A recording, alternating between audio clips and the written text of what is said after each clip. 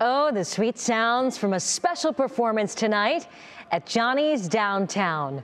A local pianist is hitting some serious high notes, and he has been for almost three decades. You might have heard of him. That's because Mike Petrone performed tonight at Johnny's Downtown for the 6,000th time. Here's Emma Henderson with more on what motivates the man behind the music. You know how this goes, right? Was in the spring. At Johnny's in downtown Cleveland, it's impossible to enjoy your meal without a taste of Petrone. You'd come along. Ready, George?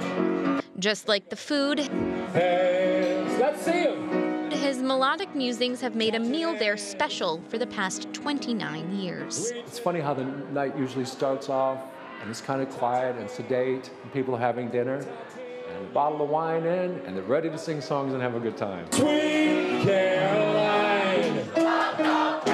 He's become an expert in reading the room, knowing what to play when, doing it tonight for the 6,000th time. I like the first part where I'm just singing, and I like the part where we're all together and having a smile and a song because it's so rare anymore to have that sort of uh, community in, in, a, in a room.